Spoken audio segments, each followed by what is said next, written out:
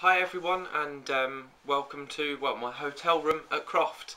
Um, it is 10 to 7 Saturday morning and um, I'm just getting ready to go in um, into the circuit for uh, the two tests and qualifying that we had today.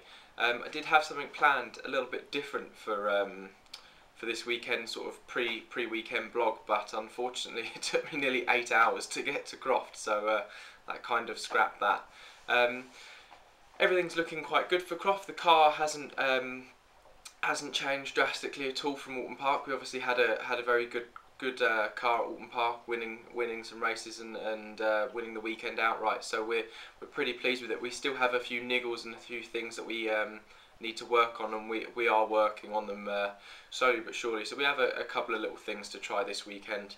Um, but overall, it still should be the same product really that we had there. So we're hoping that we, we should be quick. Um, for the first time this year, we're coming into the weekend carrying some success ballast.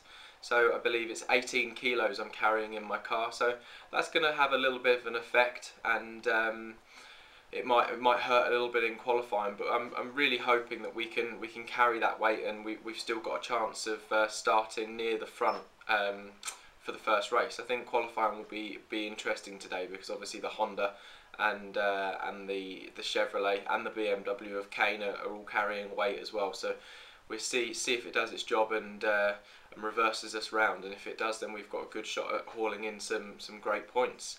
Um, been pretty busy over the two weeks. Have a new sponsor in uh, in in Rockstar there. So really happy to have them on board. A very cool energy drink brand and. Um, looking forward really to, to working with them for the rest of the year so that's all very exciting for me and um, other than that, really, I guess expectations for the weekend. Um, be nice to do more of the same as Oulton Park, but it's uh, that that was a good weekend. I think we have the car to do it, and I think um, I think I can do it. It will be the the weight thing where it is the bit of the unknown at the moment going into qualifying. But once we get into racing, I'm sure we'll be able to uh, to get up there. So I mean, if we can if we can get more podiums and uh, and keep stealing points off of uh, Matt and Jason, then that that would be fantastic. Really, if I can come come out of the weekend with a closer gap than I went in, then um, I mean that's a job well done. So uh, let's see how it goes.